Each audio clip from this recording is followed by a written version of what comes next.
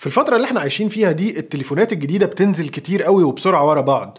والعمر الافتراضي للتليفون بيقل قوي. قبل كده الواحد كان بيشتري تليفون ويقعد معاه مثلا 3 4 5 سنين وبعد كده يبتدي يحس إن الموبايل بيبطأ شوية معاه وبتاع فيبتدي يغيره. لكن العمر ده الحقيقة قل جدا دلوقتي وبقيت ممكن تشتري موبايل وبعدها بسنة أو سنتين تلاقي الموبايل ابتدى يبقى بطيء جدا معاك وهتحتاج إنك تغيره بموبايل تاني جديد. فالفيديو ده هقولك فيه شوية تيبس كده صغيرين تقدر تعملهم لموبايلك الآيفون أو الأندرويد علشان تحاول تسرع بقدر الإمكان الأداء بتاع التليفون بتاعك. طبعا مش هيتحول يعني ولا يروح لحتة تانية ولا يزيد رامات ولا بتاع لكن شوية حاجات بسيطة ممكن تحسن شوية التجربة بتاعت التليفون بتاعك كسرعة ويقلل شوية في التهنيج والتعليق والكلام ده كله. تعالوا نتفرج مع بعض على الحاجات دي. صباح الخير ومساء الفل على الكل. أنا أندرو أديد والفيديو النهارده خفيف وسريع كده. هقول لك خمس طرق بسيطة جدا تقدر إنك تستخدمهم في الموبايل بتاعك علشان تسرع الأداء بتاعه شوية بدل ما يقعد يعلق ويهنج معاك. طبعا ده وارد إنه يحصل بس بنحاول نقلل ده بقدر الإمكان. أنا هتكلم على التليفونات ال iPhones والموبايل اللي معايا هو ال iPhone 12 Pro والموبايلات ال Android وال Android اللي معايا هو Samsung A51 ده برضو من الموبايلات المنتشرة جدا واللي ليها شعبية كبيرة قوي في التليفونات الأندرويد وكل واحد هوريكم إزاي يعني تقدر تعمل الحاجة دي عليه. بس قبل ما أخش في التفاصيل بتاعة التبس دي ما تنساش تعمل لايك للفيديو وتشترك في القناة وتفعل الجرس بتاع التنبيهات عشان تشوف الفيديوهات الجديدة أول ما بتنزل على طول. أول حاجة هقول لك عليها إنك تحاول تفضي مساحة التليفون بتاعك بقدر الإمكان. ما تقعدش تحط بقى عليه صور بقى عمال على بطال وفيديوهات كتير وبتاع ولا بقى الصور بتاعت واتساب تتسجل على التليفون أوتوماتيك لأن الحاجات دي بتقعد تحوش مساحة ضخمة جدا الحقيقة وأغلبها ما بتكونش أنت محتاجها وده بيتقل جدا التليفون بتاعك مع الوقت. خاصة الفيديوهات. انت ممكن تصور فيديو وب quality عالية وتنساه ويبقى فيديو خمس سبع دقايق مثلا وتلاقي ان مساحته رهيبة جدا واكل من الموبايل كذا جيجا. وطبعا كل ما المساحة بتتملي في الموبايل. كل ما ده هيأثر عليه سلبا جدا على الأداء بتاعه. فحاول تمسح دايما الصور الفيديوهات بقدر الإمكان بسرعة وما تسيبش غير الحاجات المهمة. وفي حاجة مهمة ما تنساهاش إنك تمسح الصور اللي في ال deleted folder أنت ممكن تكون عندك صور أو فيديوهات ومسحتها بس الحقيقة ما بتتمسحش قوي من على التليفون بتفضل موجودة على ال memory بتاعة التليفون. فدايما تحاول تخش على ال folder ده وتفضيه أول بأول عشان ما يكونش مستهلك مساحة من التليفون بتاعك وأنت مش محتاجها خاصة لو كانت فيديوهات كبيرة أو كده. تعالى اوريكم إزاي. لو أنت على iPhone زي كده دلوقتي أول حاجة تعملها إنك هتدخل على الجاليري بتاعتك ودي ال albums بتاعتك العادية جدا. تحت خالص هتلاقي فيه folder اسمه recently deleted. لو دوست على ال folder ده هتلاقي عندك شوية صور أو الفيديوهات اللي انت كنت مسحتها في آخر شهر بس هي الحقيقة لسه موجودة في ال folder ده. فكل اللي هتعمله إنك هتدوس على select اللي فوق دي بعد كده delete all لما تدوس على delete all هيأكد عليك وبتاع ويروح مسح اللي في ال folder ده وبكده تبقى فضيت شوية في مساحة التليفون بتاعك. نفس الكلام في Android لو جيت على تليفون Android زي ال Samsung ال A51 هتدوس على جاليري هتلاقي برضو إن ال folders طلعت قدامك كده اللي فيها الصور وبتاع. لو دوست على الثلاث نقط اللي فوق وبعد كده دوست على trash هتلاقي الصور اللي كانت موجودة واتمسحت برضو فضلت في ال folder ده هتدوس على empty من فوق وبعدين تختار empty trash وبكده هيفضي التليفون من الصور والفيديوهات اللي كانت متحوشة في ال folder ده. تاني نصيحة هقول لك عليها هو إنك ما تسيبش الموبايل بتاعك دايما في ال mode بتاع توفير الطاقة أو ال power reserve أو ال low power mode في ناس بتعمل كده علشان تطول من عمر البطارية ويكمل معاها يوم أو أكتر من يوم لكن الحقيقة أنت لما بتعمل كده ده بيقلل شوية من الأداء بتاع التليفون بتاعك. فما تعملش كده غير لو أنت محتاج تحطه في ال low power mode عشان لظروف ما طريقه أنت محتاج تطول من عمر البطارية بتاعتك لو الموبايل قرب يفصل شحن أو كده. لكن في الطبيعي ما تشغلهاش غير لو أنت محتاجها قوي يعني. وإزاي تطفيها؟ بطريقة سهلة جدا. لو أنت على التليفون الـ iPhone بتاعك هتجيب من فوق كده ال control center وهتلاقي فيه علامة بتاعة البطارية. لما بتكون منورة أصفر كده يبقى أنت مشغل ال low power mode وبيبان لك فوق في علامه البطارية بيكون لونها أصفر فأنت عادة حاول إنك ما تشغلهاش لأن ده بيبطئ شوية ال CPU بتاع الموبايل. وفي الموبايلات الأندرويد هو بيقول لك ده بطريقة واضحة أكتر. يعني أنت في الموبايل أندرويد لو برضو سحبت الشاشة من فوق كده وسحبتها تاني واخترت ال power mode وبعدين جيت تقول له apply هيقول لك أنا ه limit ال CPU لكذا في المية. طبعا أنت بتقدر ت customize الموضوع ده أكتر شوية من الآيفون لكن في الحقيقة في الآخر أنت لما بتحط في ال power reserve mode ده هو برضو بيبطئ شوية التليفون.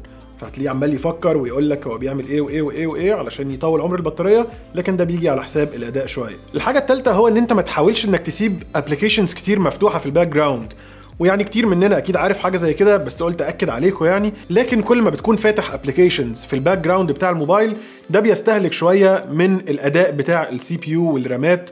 فاقفلهم أول بأول علشان دايما تاخد أسرع أداء من الموبايل بتاعك. في آيفون مغلسين شوية في الموضوع ده وبتضطر عشان تعمل كده إنك تقفل واحد واحد زي ما أغلبنا ممكن يكون عارف إن أنت دلوقتي لو سحبت الشاشة بس كده من فوق لازم تقعد تقفل واحد واحد واحد واحد كتير جدا كده زي إحنا عارفين. لكن ده في الآخر نتيجته بتكون كويسة. في حالة الأندرويد الموضوع بيكون أبسط بكتير الحقيقة. وهو إن أنت لو دوست على الثلاث شرط اللي بتكون تحت في الثلاث زراير اللي في أغلب التليفونات الأندرويد هتلاقي ال applications كلها مفتوحة قدامك زي ما أنت شايف بس تقدر تدوس close all فيروح قافلهم كلهم وده هيفضي لك شوية من الرامات ويسرع لك الجهاز شوية. وفي tip زيادة بقى في الموبايلات الأندرويد في القصة دي هو إن أنت عن طريق ال widgets تقدر تختار widget اسمها optimizer موجودة في device care اللي بيكون موجود تحت ده. دي الحقيقة widget لطيفة جدا كده وبتكون عندك على ال home screen بعد كده. تقدر في أي وقت إن أنت تدوس optimize ولما بتدوس optimize بيبتدي يفضي لك من الرامات وال processor والكلام ده فبتاخد تجربة سلسة أكتر شوية والموضوع بيكون أسرع شوية معاك. لذيذة في اندرويد نصيحة رقم أربعة هو إن أنت ما تقعدش تحشي الموبايل بتاعك ببرامج و applications أنت مش محتاجها لأن ده اولا بياخد من مساحة الموبايل وبيبطئه ثانيا بياخد كتير جدا من ال processing power أو من قدرة الموبايل على إن هو يكون سريع وسلس معاك. فال applications اللي أنت مش عايزها يا إما تمسحها خالص يا إما تعمل حاجة اسمها offload apps ده option بيكون موجود في الايفونز وموجود حاجة شبه أقول لكم عليها برضه في اندرويد. ده بيكون عبارة عن ان انت بدل ما بتمسح ال application خالص انت بتعمل له حاجة اسمها offloading يعني ال application فعليا ما بيكونش موجود على الموبايل عندك لكن لو رجعته تاني أو عملت له download تاني كل ال data بتاعتك وكل المعلومات وكل الحاجات اللي كانت حاصلة في ال application هترجع تاني زي ما كانت بالظبط. وحتى ال icon بتاعت ال application بتفضل موجوده عندك على ال home screen لكن جنب منها في زي علامة cloud كده أو سحابة بحيث إن أنت لازم تدوس عليها فتنزل ال application وترجع تستخدمه طبيعي زي ما كان عندك قبل كده. تعالوا أوريكم إزاي.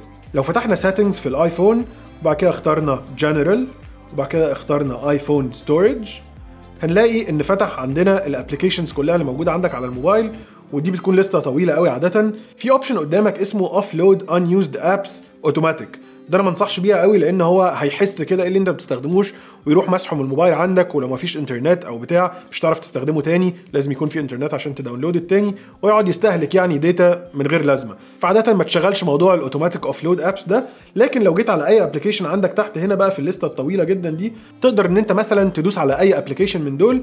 فلو دوست على ده مثلا هتلاقي دايما في اتنين options يا إما delete app اللي هو تمسحه خالص زي ما بتمسحه من ال home screen كده أو تدوس offload app لو دوست offload هتقول لك تمام offload وما أعرفش إيه. كده كأنه بيمسحه بالظبط لكن بيخلي شوية معلومات بحيث لو رجعته تاني يبقى كأنك ما مسحتوش خالص. فلو دخلت على ال home menu بتاعتك تاني هتلاقي إن ال application موجود بس زي ما قلت لكم في علامة سحابة كده صغيرة. مش عارف باين عندكم ولا لأ بس علامة السحابة الصغيرة دي معناها إن هو هتحتاج إنك تعمل له install تاني علشان يشتغل.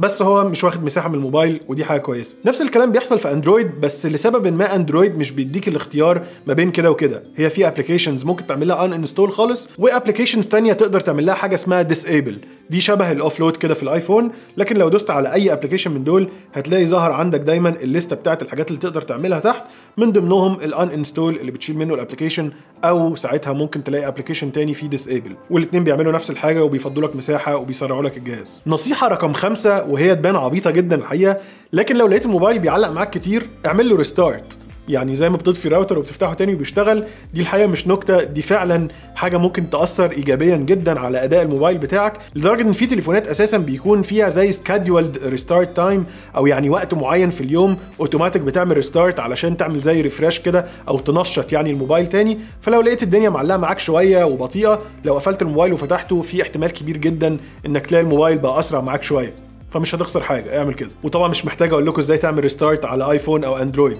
عيب بقى. وآخر نصيحة بونس كده للي كمل لآخر الفيديو بس دي هتنفعك لو أنت اندرويد مش تنفعك قوي لو أنت ايفون هو إن أنت لما تيجي تستخدم memory card إضافي علشان تزود المساحة بتاعة الموبايل اختار حاجة تكون السرعة بتاعتها عالية جدا أو يعني لو مش محتاج قوي ما تستخدمش كارت memory خارجي. أنا شخصيا ما بنصحش باستخدام أي memory card خارجي لأن ده الحقيقة بيأثر جدا على سرعة التليفون بتاعك. لو أنت ما بتستخدمش memory card وبتكتفي بالذاكرة الداخلية للموبايل غالبا هتلاقي الموبايل أسرع معاك بشوية حلوين وده عن تجربة شخصية يعني. وبس كده ده كان فيديو سريع كده وخفيف لشوية نصايح و tips إزاي تسرع الموبايل بتاعك أو يعني تاخد منه أداء أفضل ما يمكن يعني قبل ما تقرر إنك تغيره بموبايل أسرع أو أجدد.